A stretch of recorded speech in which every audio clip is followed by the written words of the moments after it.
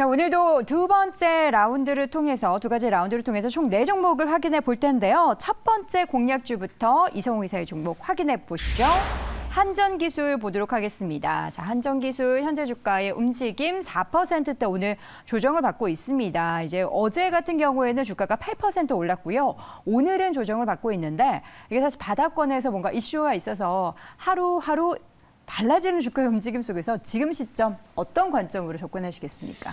지금 폴란드의 방산에 이어서 네. 원전에 대한 수주 가능성입니다. 음, 근데 이 부분을 우리가 가깝게는 이집트 수주가 있었단 네. 말이죠. 그때 어, 한수원의 컨소시엄 중심은 러시아였지만 일부 우리가 원전 원전 부분이 들어간 사항이 있다 보니 그때 같은 경우는 수주가 나가기 한 거래일 전에 주가가 반응이 나타났고 그 마지막 시세로요. 그때 강했던 종목이 한전기술, 한전산업 순이었어요. 왜냐하면 그때 들어가는 컨소시엄이 한수원이다 보니까 그러한 뭐 주가 흐름이 있었고 이번에는 두 번째 원전 건설 참여죠. 폴란드의 두 번째 원전 건설 참여인데 그첫 번째는 미국의 웨스팅하우스란 이 기업이 중심이 돼서 들어갔고 두 번째는 한수원 중심의 수주가 이루어지는데 이 또한 그 중심은 좀 미국의 섹터들이 이 부분에 승인을 내려줘야지 좀 가능한 구조입니다. 그렇다 보니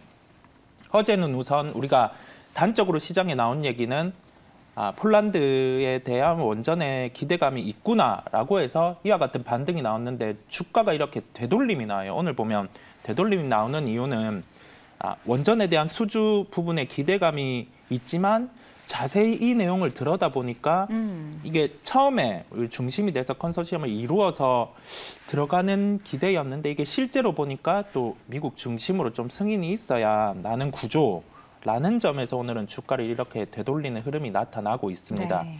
이게 좀 차트를 통해서 한번 구체적으로 말씀을 드려볼게요. 네. 이 차트를 통해서 보면 자, 어제는 이런 식으로 그 기대감으로 갭 상승이 이루어지고 음. 이게 확실히 주가가 한 단계 더 상승을 하려면 20일선을 안착을 했어야 돼요. 그런데 첫 상승 때는 이 저항을 받고 나서 다음 날 오늘 같은 경우도 또한 그냥 밀려버린단 말이죠. 왜냐하면 내용이 어제 생각하고 생각하고 바라봤던 것보다 좀 다른 점이 있으니까 이런 현상이 나타나고 오늘 저는 매수가를 53,800원을 제시해 드렸는데 지금은 이 전략을 전면 수정을 합니다. 왜냐하면 조금 확인해야 되는 내용이 추가로 발생을 했기 때문에 전면 수정을 하고 네. 가격대의 접근은 이렇게 갭 상승이 이루어진 주가가 좀 맞고 떨어지는 어. 현상이 있으면 첫 번째로 지켜야 되는 가격은 어제 저가 52,100원이고요. 네. 두 번째로는 5일 이평선이 위치하고 있는 51,500원입니다. 음. 이 가격이 지지받는지 보고 그때 종가든 아니면 다음 거래일에 매매를 대입하는 게 나아요. 그렇다 보니 오늘 제가 제시드린 매수가는 이렇게 수정을 해서 음. 본다라고 할 수 있겠고 네. 목표가 또한 전면 수정입니다. 왜냐하면 얼마예요? 5만 9천 원의 목표가 같은 경우는 이 구간이 가격이 안착이 됐을 때 음. 가능한 거예요. 그런데 가격이 안착이 못 되면 첫 번째로 저항을 받는 구간은 10월 20일에 고가 부분, 그 다음에 21선 저항이 위치한 구간입니다. 그 점을 생각을 해야 돼요. 무작정 이게 목표가를 얼마로 뒀는데 이게 가격의 변화가 있을 때는 음. 그 점을 수정해서 바라봐야 되는 게 주식 시장, 그다음에 각 종목들의 특성이라는 점을 꼭 기억을 하시길 바라겠습니다. 목표가를 얼마로 말씀을 그럼 정정하시는 겁니까? 목표가는 55,500원입니다. 음, 5만 5,500원으로 아, 다시금 하향 조정해서 정정을 해드립니다. 첫 번째 공략주 원전 관련해서 하루하루 또 주가의 변동성과 함께 이슈가 계속해서 나오고 있는 한전 기술 확인을 해봤고요. 이어서 두 번째 공략주 김민수 대표는 어떤 종목을 제시할까요? GS 글로벌 보도록 하겠습니다. GS 글로벌 현재 주가 2.58% 하락 세 보이면서 오늘 또 쉬어가고 있는 분위기입니다. 요즘에는 이제 종목 이렇게 봤다 하면은 이렇게 좀 바닥권에 있는 종목들이 참 많아가지고 네. 돌아설 만한 어떻게 모멘텀이 지금 시점에서 기대할 수 있을까요? 실적을 바라봐야 될 부분인 것 같고요. 네. 어, 특히 최근에 상반기 대비해서 하반기 종합상사 실적들이 뭐 피크아웃일 것이다. 음. 라는 쪽에서 많이 위축된 종목들이 네. 있는데 근데 지금 종합상사들이 움직이는 배경 중에 하나가 유가가 반전이 나오게 되면 또 변화가 나오기 시작하죠. 음. 근데 최근에 또 어, 유가가 80달러대에서 슬슬 또 반등할 준비를 하고 있는 거 보면은 그에 따른 변화를 봤을 때도 어, 실적의 변화 괜찮게 되면 같이 영향을 끼치겠다는 쪽에 초 포인트를 맞추고 있는데요. 음.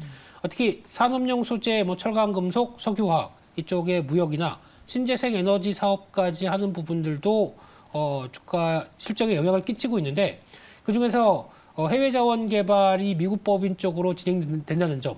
그러면 이쪽도 어, 성과를 내기에 또 지금 미국 같은 경우는 다시 약간 화석 에너지 쪽에 대한 재발견도 같이 들어가고 있죠. 음. 신재생 에너지와 함께 들어가고 있다고 하게 되면 어, 양, 양 방향으로 다 보고 있다라고 바라보고 있는데 네. 게다가 또 에너지 설비 전문 업체라고 하는 GS 엔텍까지도 있다라고 하게 되면 이것도 어, 영향을 끼칠 수 있겠다라고 음. 바라보고 있는데 또나 어, 최근 들어서 뚜렷한 변화 중에 하나는 석탄 가격은 잘 안 빠집니다. 음. 역시 고가대입니다. 그러다 보니까 어, 인도네시아 석탄광 지분 한 14% 이상 갖고 있는 부분들도 어, GS 에너지랑 공동이긴 하지만 어, 이 부분에 대한 가치 부각들도 같이 어, 생각한다라고 하게 되면 좀 더 어, 기대는 이어진다라고 봐야 될 것 같고요.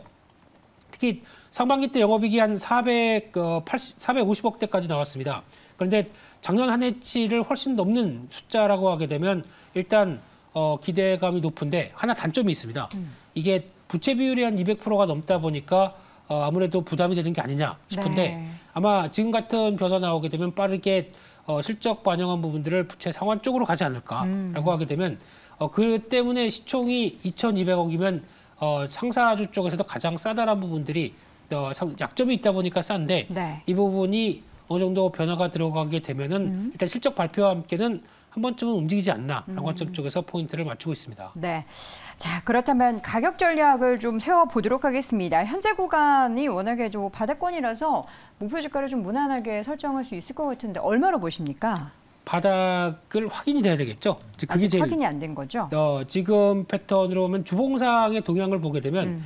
한번 어, 많이 밀렸기 때문에 이 자리 쪽에선 어, 장기 어, 지지권 쪽 안쪽에서는 지지를 받을 수 있겠다라고 생각이 드는데 음. 아직 일봉상의 변화가 아직 뚜렷하게 나오지는 않은 상태입니다. 그렇기 때문에 지금 기준으로는 일단 어, 확인되고 들어가자 네. 안쪽으로 바라보시는 게 좋을 것 같고요. 그런 쪽으로 봤을 때 일단 목표가는 지난 하락 때 나왔던 역순으로 보게 되면 한 3,200원대 정도까지 바라보고 있고요. 손절가는 2,500원으로 말씀을 드리겠습니다. 네. 자, 이렇게 해서 두 번째 종목은 GS 글로벌 함께 확인해 봤습니다. 자, 이어서 두 번째 라운드 첫 번째 이성호 이사의 종목 바로 확인해 보시죠. 파라다이스 보도록 하겠습니다. 파라다이스 지금 현재 주가는 1%대 소폭 조정이고요. 파라다이스의 주가가 17,000원 가까이까지 올랐다가 지금 살짝 조정을 보이면서 14,000원대까지 밀려났습니다. 이전에도 이 종목 저희 함께 확인했었죠? 네. 음. 지금 가격대의 흐름으로 봐서는 네. 급하게는 안 사도 돼요. 예, 음. 급하게는 안 사도 되는 흐름인데 네. 언급을 드리는 이유는 지금의 시장의 에, 중심에 있는 부분은 매크로 변수도 있겠지만은 음.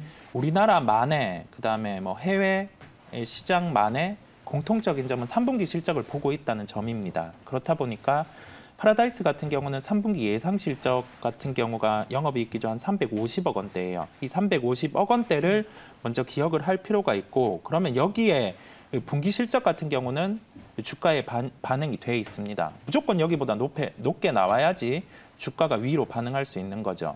그 점을 먼저 기억을 하고 그러면 이 주가 안에서 위로 갈 수 있는 요인이 뭘까? 지금 어떤 요인이 달라져야 하는가 보면 중국의 코로나 대응 정책 부분입니다.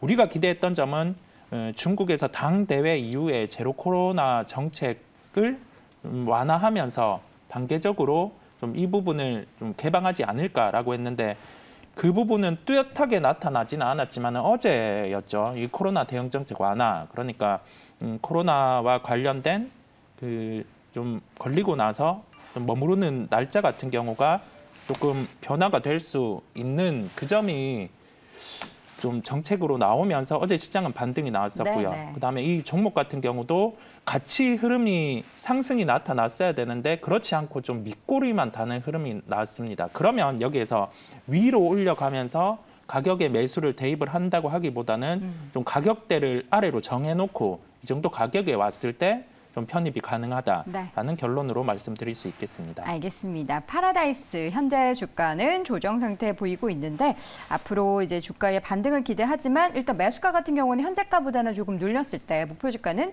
18,000원으로 네. 네, 그대로. 18,000원의 제시인데 음. 이게 단계적으로 가격대를 넘어서야지 이 가격이 도달을 할 수 있어요. 음. 첫 번째로는 자, 우리가 차트 흐름을 통해서 보면 이런 가격 흐름대죠. 15,000원대 중반을 먼저 돌파가 돼야지 16,500원대 이 정도까지 도달이 가능합니다. 18,000원이라는 목표가는 전제될 수 있는 게 3분기 예상이익이 한 380억 원 이상은 나와줘야지 그 정도는 가능해요. 음. 그 점을 우리가 생각하고 지나가는 가격 안에서 기술적인 점에 대한 통과 단계적으로 한 두 단계가 이루어져야지 이 가격도 가능하다는 점을 기억을 하시기 바라겠습니다. 네. 자, 이렇게 해서 파라다이스를 다시 한번 확인해 봤습니다. 과연 이제 향후에 다시금 주가가 좀 쉬어가고 나서의 움직임이 어떻게 될지 함께 기대를 해 보도록 하겠습니다. 자, 이어서 마지막 종목 보도록 하겠습니다. 김민수 대표의 종목은 DK락입니다. 현재 주가는 0.46%대 오름세 보이면서 1,900원 기록이 되고 있는 상황이고요. 어제 쉬어갔다가 오늘은 다시금 양봉 움직임을 보이고 있습니다. DK락은 뭘 주력하는 기업이죠? 락입니다. 락. 네. 뭔가 잠그나요? 네. 어, 예, 잠가야죠. 음. 네. 어, 개장용 피팅 밸브. 아, 요즘 보면 피팅 밸브 업체들 주가가 좋죠. 좀 많이 밀렸습니다. 밀렸다가 네. 다시 좋아지고 있어요.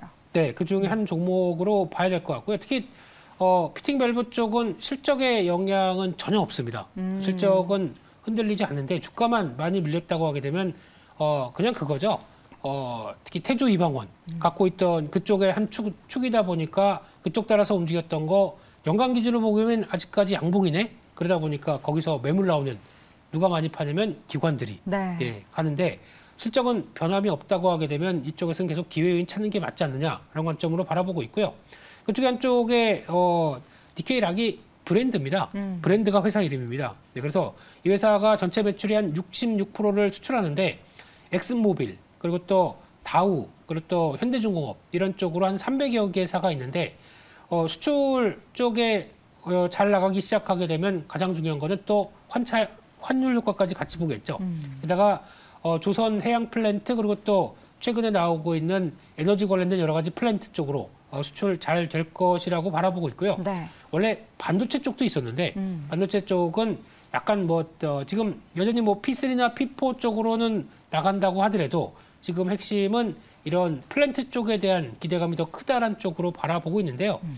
아, 그런 쪽에서 어, 올해 매출액이 한 23% 증가할 걸로 보여지고 있고 그래서 이제 천억대 넘어가면서 영업이익이 130억대 그러면은 작년 대비해서 이제 완연한 턴어라운드가 확인되는 것 같고요. 음. 한 60%대 증가하는 모습들이 나온다라고 하게 되면 이 수준만 유지한다고 하더라도 지금 주가는 어, 비싼 게 아니다라는 음. 관점으로 보게 되면 이 부분에 따른 변화의 확장세 계속 또 체크해야 되지 않나 생각되고 있고요. 음.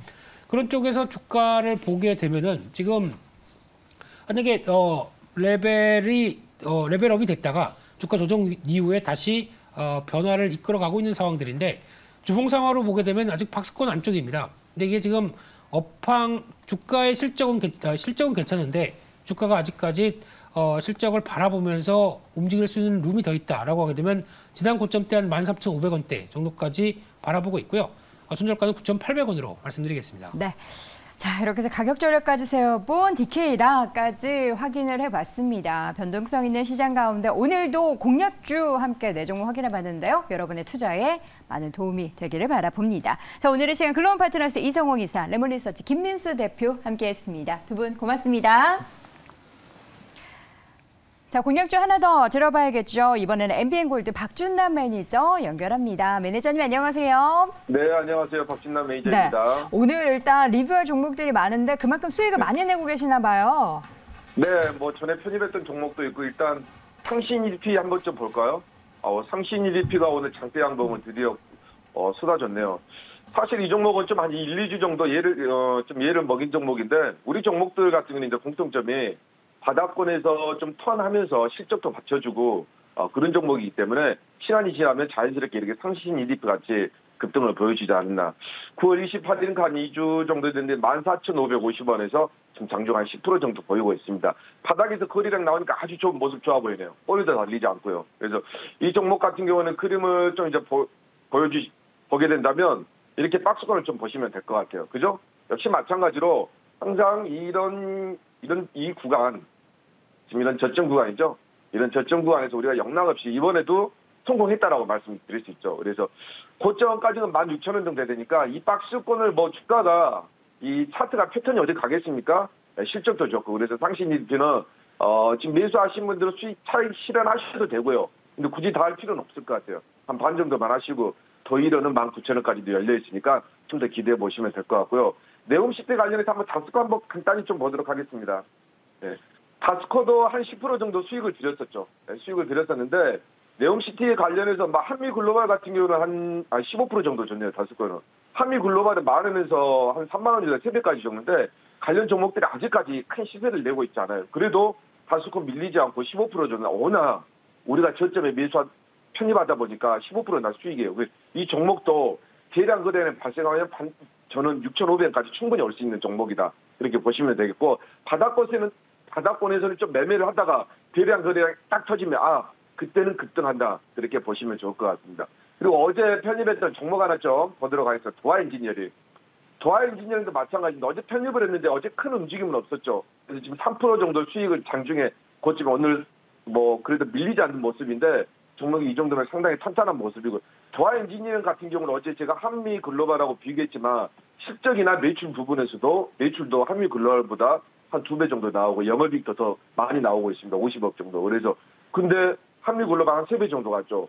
근데 이 회사가 거의 뭐 뒤지지 않는 건데 근데 이 종목 아직 바닥권이죠. 그래서 이 종목도 지금 네옴시티는 11월 달에 정부에서 코리아 드림팀을 꾸려서 가서 수주를 따오기 위해서 가는 거니까 앞으로도 호재들이 많이 나오지 않을까. 그래서 이 종목도 좀 조금만 좀 긴 안목으로 보시면서 기대해 보시면 좋을 것 같습니다. 그러면 오늘 음, 오늘은 원전을 한번 가보겠습니다. 겨울철도 이제 다가오고 원전 관련해서 요즘 좀 뜨거운 감자가 되고 있는데 음, 8,810원에 우진의 우진이라는 종목을 한번 좀 편입해 보도록 하겠습니다. 상당히 지금 낮은 가격이에요. 가격대는 상당히 좋습니다. 좀 보시면 좋을 것 같고요. 어, 지금 8월 달에 사실 원전이 뭐 어제도 뭐 뉴스가 하나 나왔지만 사실 8월 달에 이집트에서 한 3조 정도 수주를 했습니다. 우리나, 우리나라에서요. 그런데 지금 K 원전이 지금 부활하고 있는데 왜 그러냐면 우리나라가 원전 기술이 탑권이에요. 거의 넘버3 안에. 그 정도로 사막에다가 원전 기술을 어, 우리가 설계하면서 건축까지 하는 아주 진짜 뛰어난 어, 저력의 기술력을 가지고 있는 나라다. 그게 그게 포인트고요. 한국 수력 원자력이 이제 폴란드 원전 시축 관련해서 사업 설명을 예정할 어, 설명을 할 예정입니다. 한 2주 정도 그래 보시면 되겠고 폴란드 전력공사와 현지 민간 에너지 기업 잘티팩이라는 기업이 한수원이 향후 2주 이내 신규 원전 신축 사업에 참여할 예정인데 이번 수주 계약이 성사가 되면 아마 폴 한수원 같은 경우에는 폴란드에서 벌써 두 번째 원전을 신축하게 되는 거예요. 진짜 우리 원전 기술 유럽에서 아주 잘 나가고 있습니다. 왜냐하면 러시아하고 우크라이나하고 전쟁 때문에 에너지 대란이 일어났습니다. 그러니까 그 에너지를 어디에서 어디에서 저기 메꿔야 됩니까? 바로 원전이죠. 이런 부분 때문에. 그래서 이렇게 관련해서 한수원이 지난 4월에 이제 신규 원전 사업 제안서를 제출하면서 미국하고 프랑스하고 경합했는데 우리나라가 선택이 됐습니다. 그래서 K원전 부활 신호탄 이미 시작이 됐고요. 종목들이 뭐 급등한 것도 있고 조정한 것도 있는데 향후 아주 전망이 좋아요. 그래서 3조 원대 이집트 수출 지난해 8월에 이르면서 K원전이 13년 만에 대규모 수출에 성공을 했습니다. 그동안 뭐 탈원전 탈원전 많이 했었죠. 그래서 만리 turnaround 하면서 3조 규모의 8월 달에 지난 8월 달에 원전 이제 이집트 엘다바 원전 사업을 따내면서 다른 국가로 국가의 수출이 이미 길이 확 열려버렸어요. 그죠? 수주액이 한 186억 달러 정도 됩니다. 24조 정도 되는데 이게 2009년도 우즈베키의 바라카 사업 위에 첫 대규모 원전 수출이다. 이렇게 보시면 될 것 같고 사실 사막에 원전을 건설해 본 나라가 없습니다. 근데 대한민국이 최초예요. 이게 한국 외에 사막에 원전을 지어본 나라가 없을 만큼 그만큼 국내 기술이 진짜 증명됐다. 이렇게 말씀드리고 근데 원전 업계 중소기업들도 상당히 담비라고 볼 수가 있죠 이번엔. 그래서 이게 이제 원전 같은 경우는 정부 정책주인데 이 원전으로 이제 수출 드라이브를 걸고 윤석열 정부가 어 향후 이제 집권도 하겠지 계속 집권하고 있지만 30년까지 2030년까지 해외 원전 시기를 수주한다는 국정 과제입니다. 정부 정책주다 에너지 중에 그렇게 보시면 되겠고 문재인 정부의 그동안 탈원전 정책 정책 속에서 일감이 많이 줄어들었어요 원전 업체들이 그래서 이번에 중소기업들 원전 업체에도 상당히 숨통을 트이는 계기가 됐다 이렇게 말씀드리도록 하겠습니다. 그리고 우진 같은 경우에는 400조 시장에 폐기연료 재활용 기술에 미국 승인을 받은 제형 원천 기술을 가지고 있는 회사이기도 하고요. 원전 개척기 분야에서 어, 가동 원전의 교체형 예비품 국내 독점 공급을 하고 있습니다. 영업이익률도 한13% 정도 나오니까 아주 꾸준하게 잘 나오고 있고요. 재무구조 한번 보겠습니다. 재무구조가 800억 나오다가 작년에 1000억을 좀 돌파했네요. 영업이익이 84억 정도 나오고요. 재무구조는 아주 좋아졌어요. 작년에. 작년 같은 경우에는 뭐 대선 충당과 관련해서 마이너스 한 60억 정도 나왔지만 1분기, 2분기가 벌써 한 52억 정도 나왔네요. 그러니까 올해 순이익 같은 경우는 실적 턴 어라운드가 예상이 되고 영업이익 같은 경우는 지금 상반기에 보니까 거의 50억 정도 되니까 작년에 84억은 넘어갈 것이다. 그렇게 예상이 되면 좋을 것 같습니다. 실적 걱정을 안 해도 된다. 차트 한번 보겠습니다. 어, 지금 한번 보겠습니다. 지금 우진 같은 큰 흐름을 한번 좀 보겠습니다. 큰 흐름- 흐름을 한번 보시게 되면 제가 어, 라인을 세 개 정도 그려놨을 거예요. 그죠? 제가 아까 말씀드리러 말씀드린 것 마찬가지로 이- 이런 저점 부분 지금 현재 어떻습니까? 이미 시작을 했습니다. 어제 급등을 한 번 했고 오늘 좀 조정을 보여주고 있지만 이런 구간 이런 종목들은 갈 수밖에 없는 구간이죠. 물론 단기로도 좀 빨리 가지면 더 좋겠지만 그래서 조금 더 차분하게 좀 보시면서 어제 거래량이 좀 발생을 했기 때문에 아주 또 좋은 소식들이 어, 계속적으로 들려올 수 있는 충분한 어, 종목이다 그렇게 말씀드리고요. 어, 가격은 1차 매수가는 제가 11,000원 정도, 11,000원 정도면 집어드리겠습니다. 아, 여기 120에서 하단으로 제가 제시해 드리도록 하겠고요. 내가 120 구간입니다. 그리고 2차 목표가 같은 경우에는 13,000원 정도, 13,000원이면 예, 이 구간이네요. 이 구간이니까 손절가는 8,500원 정도면 충분히 보시면서 리스크 관리하면서 수익이 날 수 있는 종목이니까 종목이 이 종목의 특징이 한 번 상승하게 되면 좀 급등하는 종목이 있으니까 거래량이 터졌을 때는 수익률 좀 그때해 보시면 보시면 좋을 것 같습니다. 네, 이번에는 우진을 신규 공략주로 제시를 해 주셨습니다. 앞으로도 우진의 흐름이 또 다음 주까지 어떻게 이어지는지 리뷰를 통해서 확인해 보도록 하겠고요. 오늘도 MBN 골드 박준남 매니저 함께했습니다. 고맙습니다. 네, 감사합니다. 네,